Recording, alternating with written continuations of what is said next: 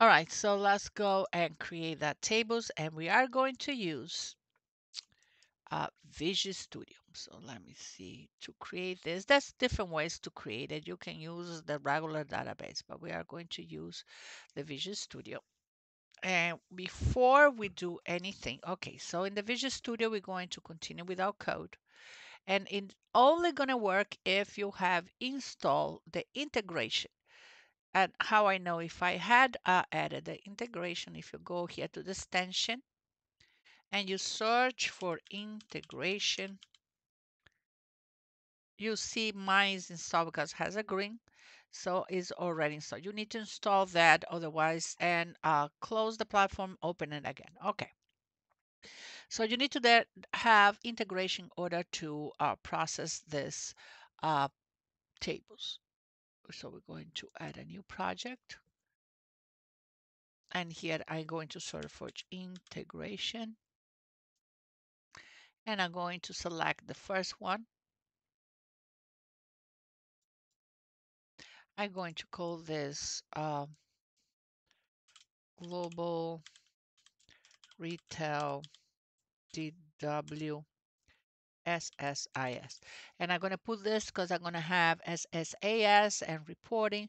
Make sure that you know where this is being stored because you're going to need to submit. Uh, and usually when you want to save is you want to save the whole folder with the project with all other functionalities so you can open in another program in another computer. Going to close these basic examples that you can click and see how they work. And in here on the right, I have my uh, Solution Explorer that has my package, uh, has my project, my packages, uh, control flow, and everything else. And in the left, I have here my favorites and I have other tasks. Uh, we're not using the other tasks for now because it's already in my favorites. I have already pinned in there, but if it's not, you can look in the other tasks, you'll find it. we'll talk about the data flow task and the control flow, but for now, since we want to actually create these tables here, right? First, we're going to do the stage table, and then we'll do the shipping, all right, the fact and dimensions. So I wanted to drop the table before I can create the table. So I'm going to use an execute task here. I'm going to call this delete.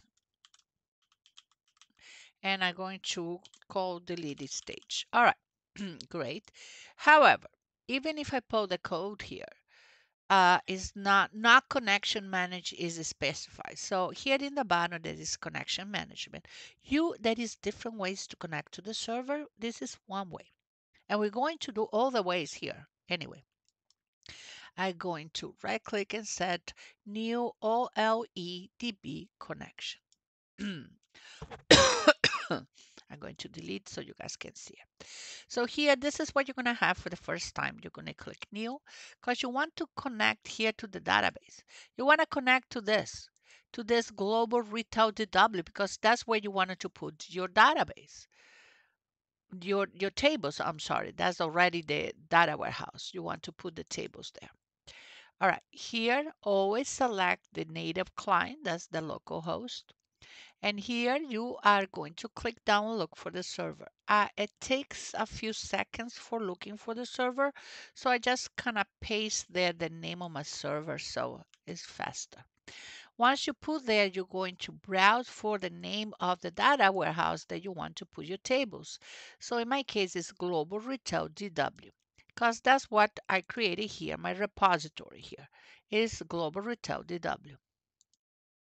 So we are going to connect the two programs, uh, the Visual Studio to do the ETL, the extract, transform, and load, and the data, the server, the MSQL server to keep a repository. Okay, and I'm going to say okay, okay.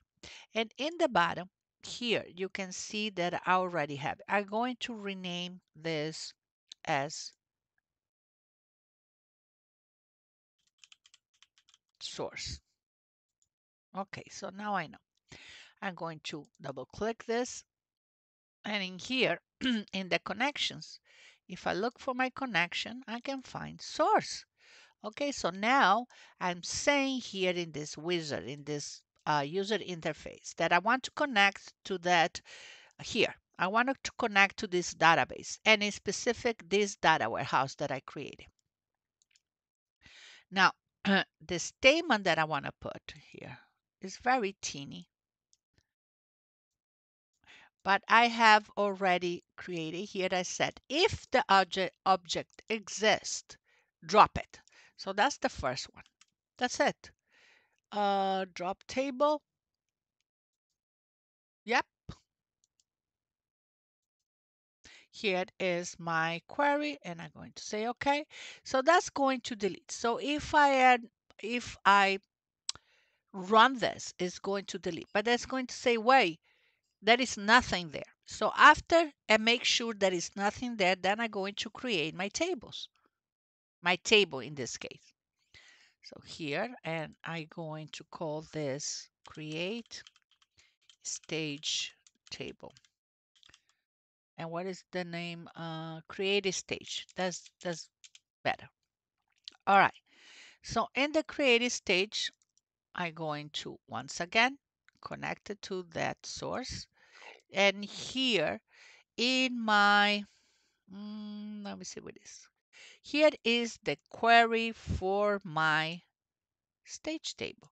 It has the key, it has all the keys that are going to be foreign, and it has the source key that I'm going to use to connect with all the data. So here in the statement, I'm going to open and paste that query. And if it's nothing wrong with the syntax, it'll run perfect.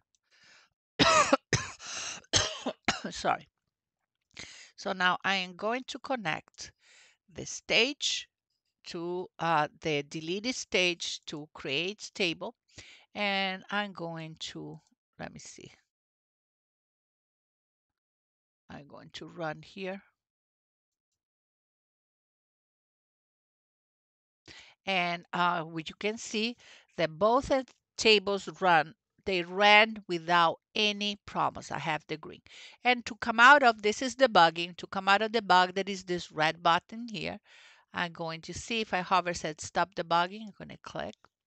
I'm going to go back to my regular uh, window user interface, but I'm going to go to my database and I'm going to refresh. And I'm going to make sure that I created the table. And in here, I have stage global retail. But if you open this, you'll see that the table is empty because we have not uh, uploaded any data. Great. So we're going to continue and do the other ones.